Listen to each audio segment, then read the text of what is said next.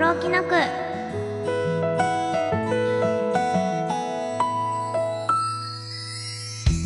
皆さんこんばんは小原好美です。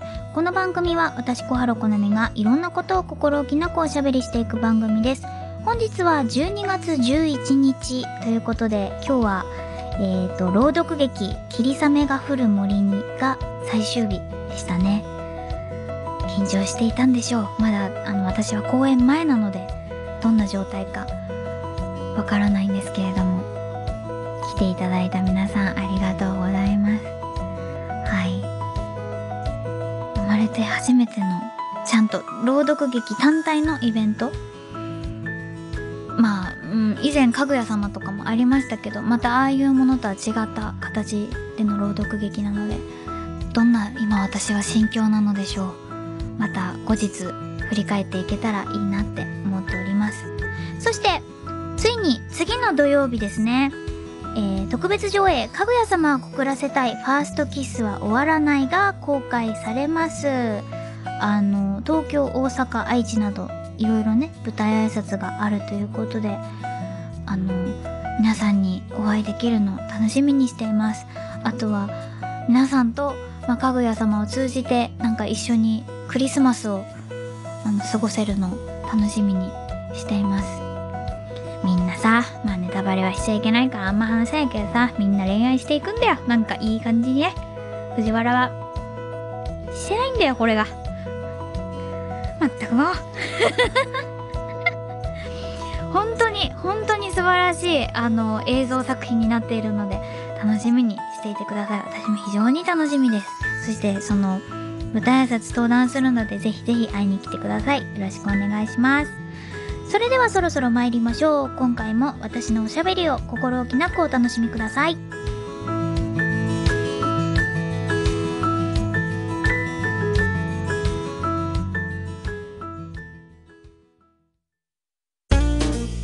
こネームかほさんからいただきました。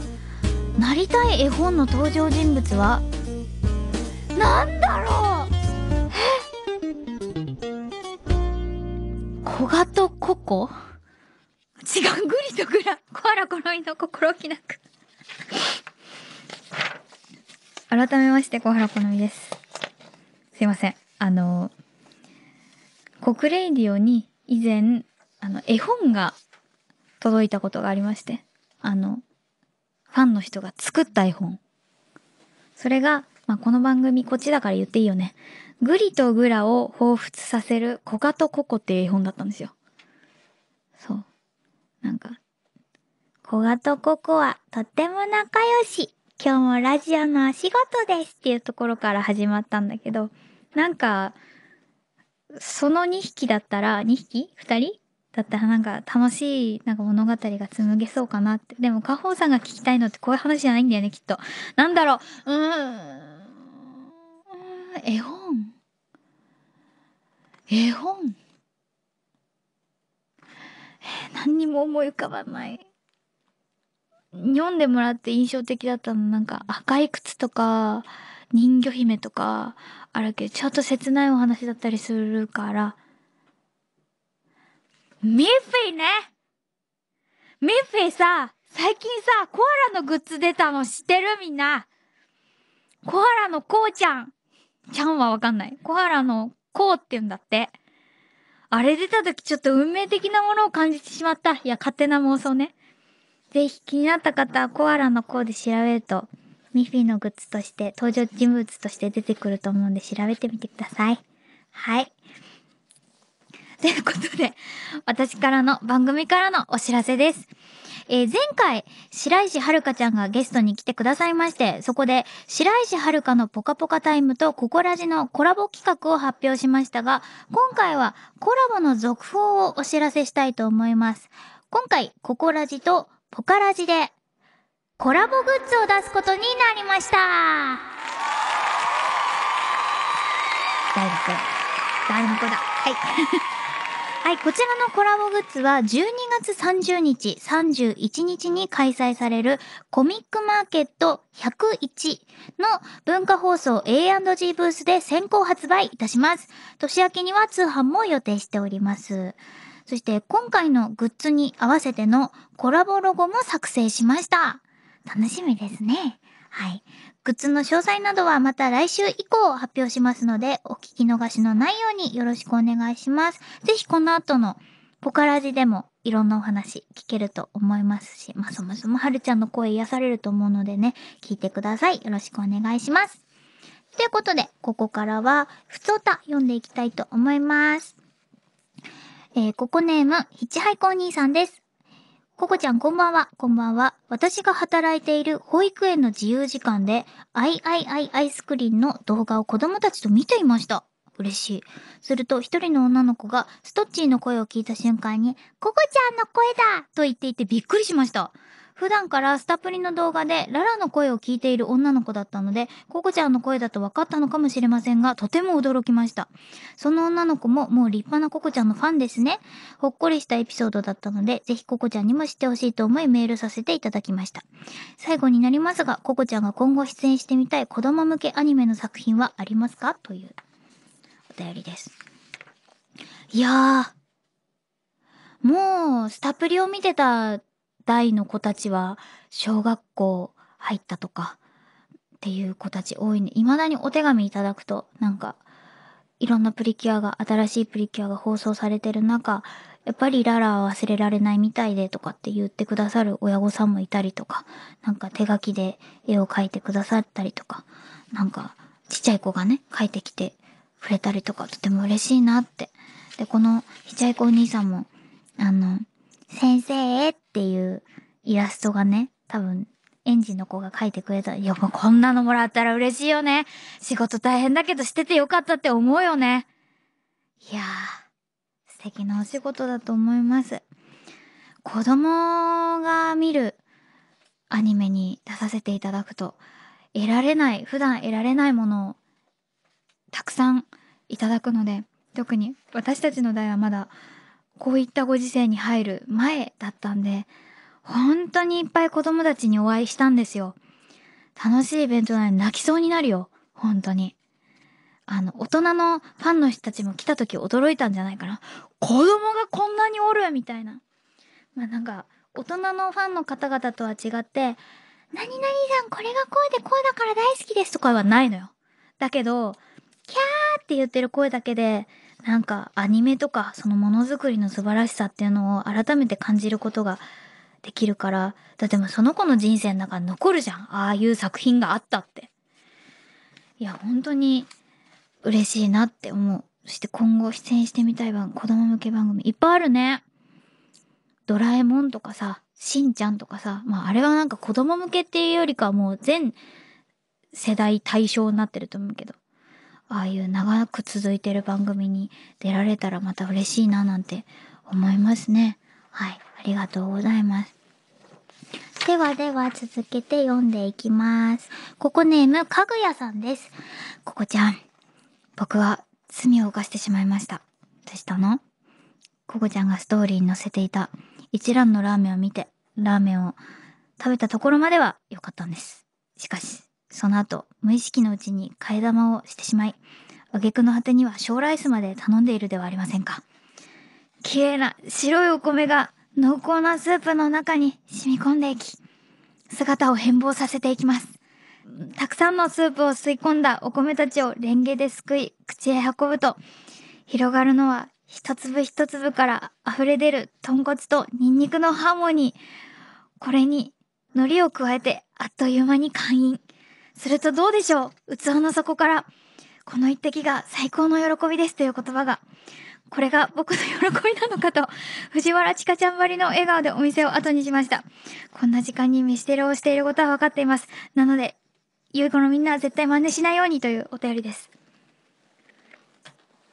なんかすごい罪を犯してしまいましたっていうなんか懺悔な文なんですけど、私一蘭に行くときは自分のご褒美として替え玉をしようって決めて行くんです。だから、大丈夫だと思うよ。まあ、将来さ頼んだことないけど。いや、あのさ、あのさ、ちょっと私、ここで、懺悔っていうか話していいですか？あの、さっきも言ったけど、自分のご褒美っていう時に一蘭行くんですよ、一人で。それで、あの、さっきも言ったけど階段増したりとかして楽しむんですね。で、この前都内の一覧に入って、空いてたんですよ、その時間帯。そう、それで端っこに座って、で、何人か、多分、三人、私の他に3人ぐらいかな、いて、で、食べて、食べ終わった時に、無意識に、って言ったの。って言ったら、私の隣は空いてたの。でも、一個挟んでも、な隣に、男性が座ってたんですよ。そしたら私が、って言った瞬間に、ビクって体が動いてて、でもあの何、仕切りがあるからお顔とかはわかんないし、私も別に意識してたわけじゃないから、そう。誰にもこう見られない自分だけの空間と思って一人で楽しみに行ってるから、だから、あ、なんだろうと思いつつ、で帰り自宅をしようと思って、なんかお水飲んで、お茶飲んで、はいはいとかってやってて、立ち上がってふってみたら、リュックに、その人のリュックに、藤原地区のアクリルキーホルダーがついてて。私が、あれ？もしかして？と思って、それで、まあ、偶然かもしれないと思って、立ち上がってコート着てリュック背負って、それでなんかマまあ、マスクじゃん、マスクか、マスクつけて帰ろうと思ったら、ふと目があって、その人と。なんか私ずっと心の中で、あ、あ、え、え、ってなってて、そしたら、その人に、小原さんですか？って言われて、あ、もうダメだとかって、あ、はい、そうです。とかっていう風に言ったら、リアルチカちゃんなんですねって言われて。あ、はい、なんかすいませんって言って。そしたら、いえ、嬉しいですって言われて、こちらこそどうもって言って、それで出たの。これ聞いてるかな？それを食べてた人ほんと、ごめんねなんか、ほんとアホ丸出して一人で。いや別に、あの、はーって以外は別に喋ってないんだよ。そう。だから、許してほしい。あんなことあるんだね。もうさ、声バレしたことは他にはあるのよ。そう。だけどまあマスクもして街中歩いてるから、そんなになんかそんな頻繁にとかはないのよ別に。街で一人で喋ってるわけでもないしさ。もうなんか 私、その街で遭遇したその人にステッカーあげたい。そう、そんなことがあったの。だからね、かぐやさんそんなになんか懺悔することないと思うよ。はぁ、やっと言えた。信じられないでしょ？あったんですよ。私もずっと家入るまで真っ赤だったもん。家入っても真っ赤だったもん。どうしよう、なんであんなはーって言ったんだろうと思って。はい、ということで続けて読んでいきますね。はい。えー、ここネーム、チョコレートリキュールさんからいただきました。コグちゃんこんばんは。こんばんは。12月になりましたね。今年を振り返る時期にもなりました。それはいいとして、12月の初めのこの時期って、えー、都市部だと秋の名残の紅葉とイルミネーションが同時に見られて、1年の中で街が綺麗に見えますよね。ココちゃんはどの季節の街の風景が好きですか？ということで。確かに、ちょっと混じるよね。世間って面白くてさ、ハロウィンが終わって11月だっつってんのにもうクリスマスになるよね。でも私クリスマスの時期とっても好きなので、あの2ヶ月ぐらい ?2 ヶ月はないか。1ヶ月半ぐらい、こうクリスマスを感じることができて、特に都内だと嬉しいなって思うんですけど。どの季節の街の風景？まあ、クリスマスが一番好き。街の風景だときだったりはするんですけど、でも、何のイベントごともない春とか、まあ、夏とか、なんか何かイベント、季節に寄り添ってない時期の街を見るのは好きです。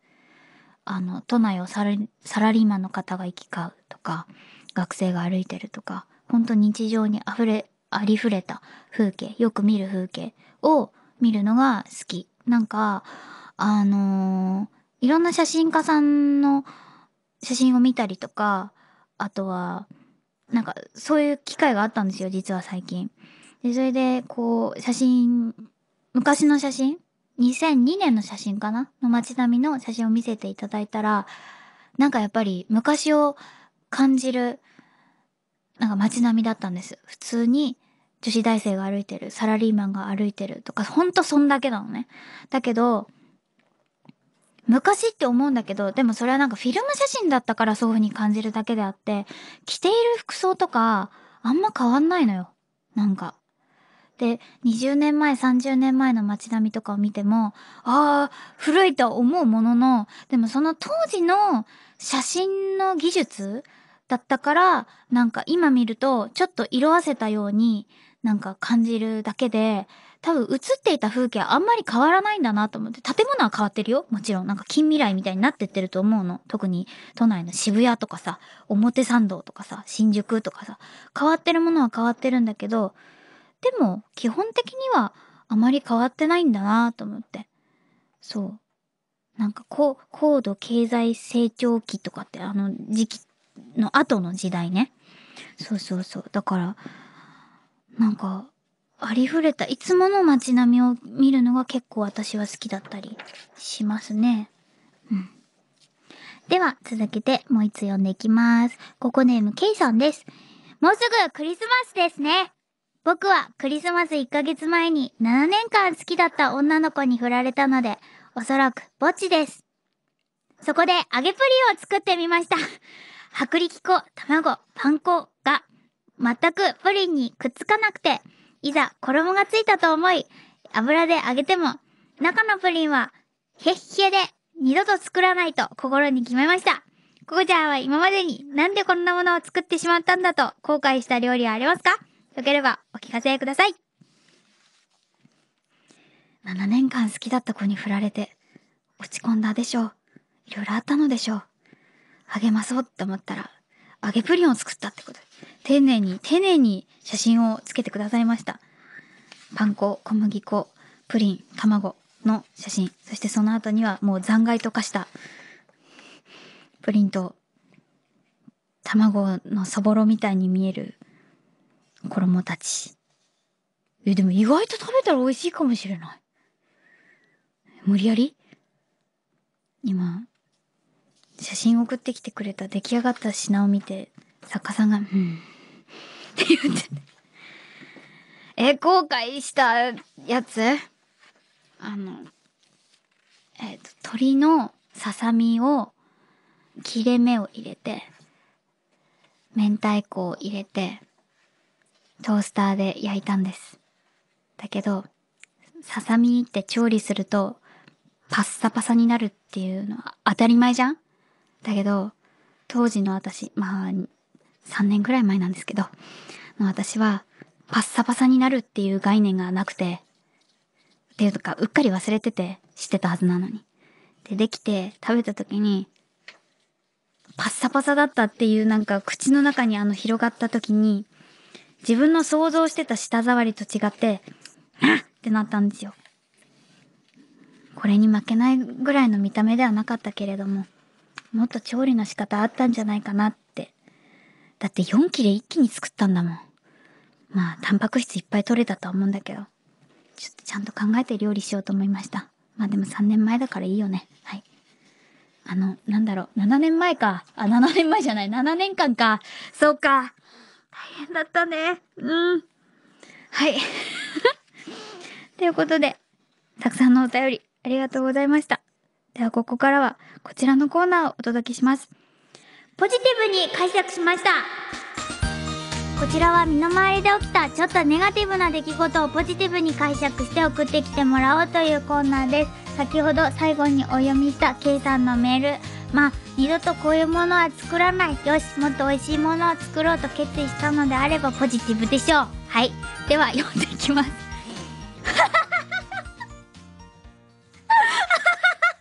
今回ね、作家さんが選んでるんですよ。ちょっと読んでいきますね。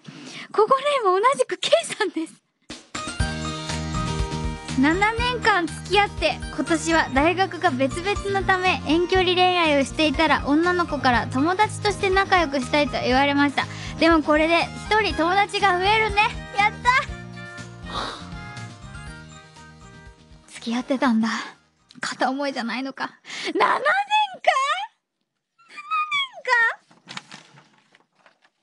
やめる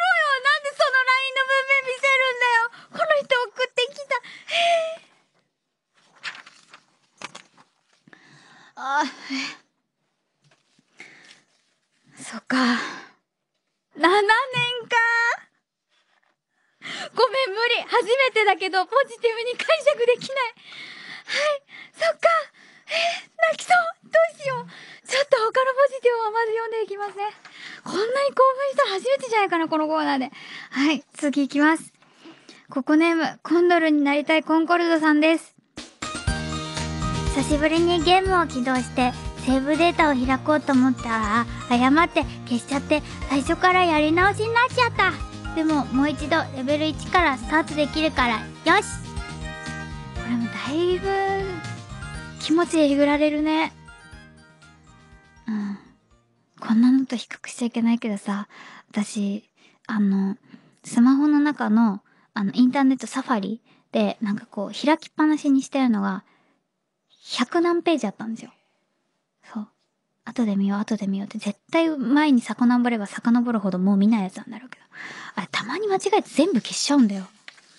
その時に、うえーってなったけど、結果さ、何も生活に、何も変化はないから、あ、消してよかったんだなって思ったけど。いや、でもショックだよね、これもね。そうだな、だどうしよう、今日ポジティブに全然解釈できない。はい、じゃ続き、いきます。ここネームよしきさんです。20代最後の思い出に北海道から思い切って川越旅行に行こうと思っていたけれどタイミングが合わなくて気がついたら30歳になっていました。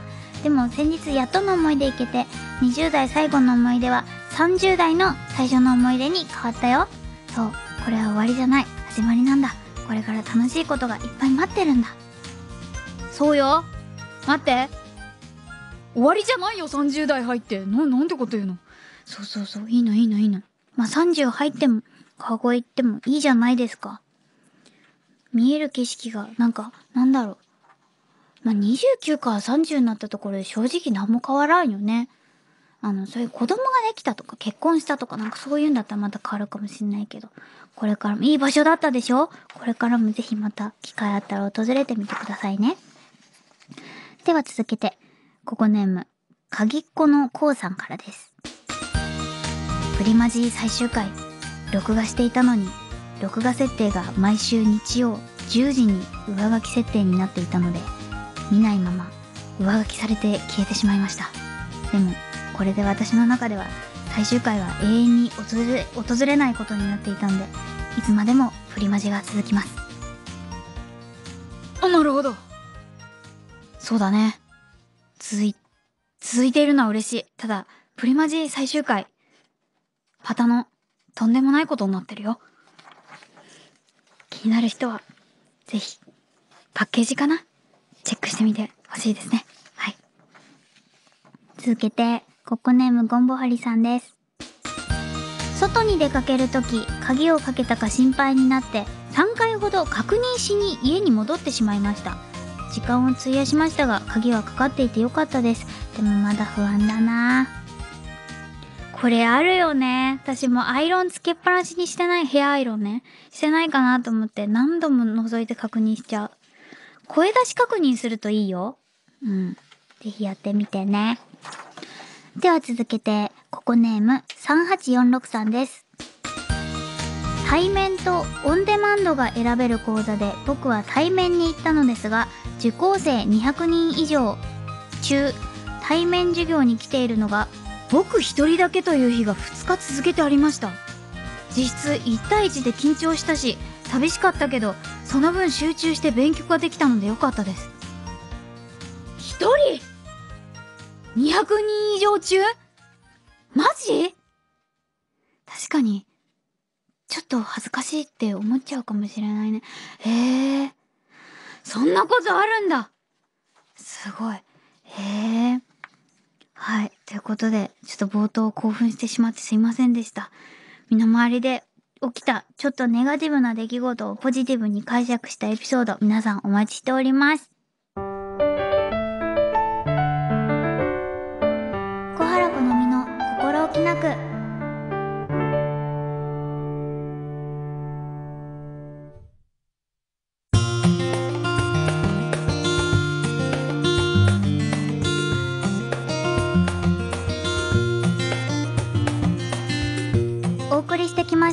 ました小原好みの心置きなくお別れの時間が来てしまいました。この番組では皆さんからのメッセージをお待ちしております。宛先はおはがきの場合郵便番号105の8000に文化放送小原好みの心置きなくまで。メールの場合はココラジアットマーク JOQR.net ココラジアットマーク JOQR.net です。ココラジのスペルは KOKORADI となっております。私への質問や不相談何でも構いませんよ。ぜひ送ってください。そしてメールを送る際は郵便番号住所本名を忘れずにお願いいたします。今回のステッカーなんですけれどもココネーム K さんにお送りしたいと思います。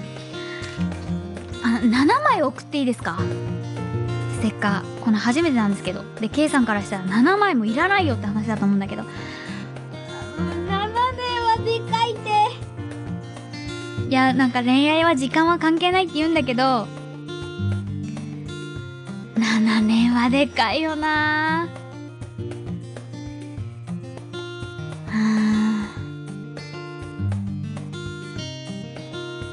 この無音の時間が私のなんか感じている重さだと思って受け取っていただけたらと思います。そっかまあ友達は増えたね。嬉しいけど今は泣いてもいいんじゃないかな。うんそんな気持ちを込めて7枚全く同じステッカーですが届きますので。はい。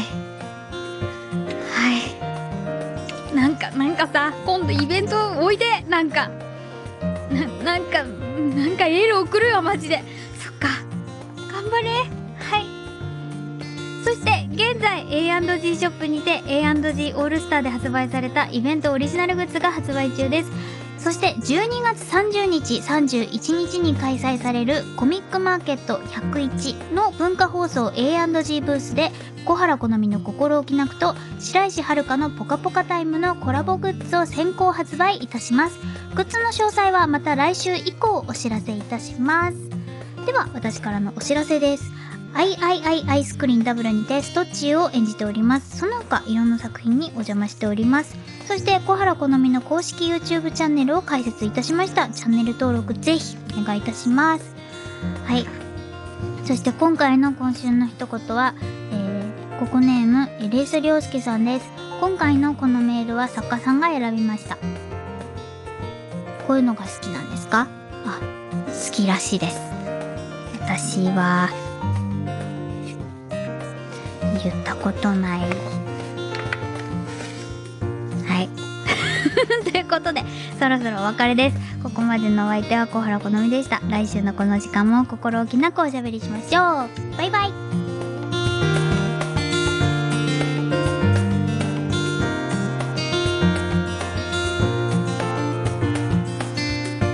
今日は早く帰ってくるって言ってたのに。嘘つきせっかく今日はイチャイチャして日々の疲れを癒してあげようと思ってたの。